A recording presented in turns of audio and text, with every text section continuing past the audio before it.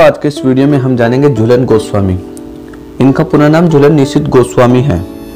इनका जन्म 25 नवंबर उन्नीस सौ बयासी, नादिया, पश्चिम बंगाल, भारत में हुआ।